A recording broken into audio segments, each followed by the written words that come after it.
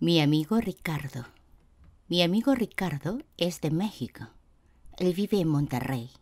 Es una ciudad industrial en el norte del país. Él es ingeniero. Él trabaja en una compañía coreana en la ciudad. La compañía vende carros. Ricardo estudia coreano porque en la compañía tiene muchos amigos coreanos. Ricardo estudia mucho en la academia coreana. Él es muy trabajador.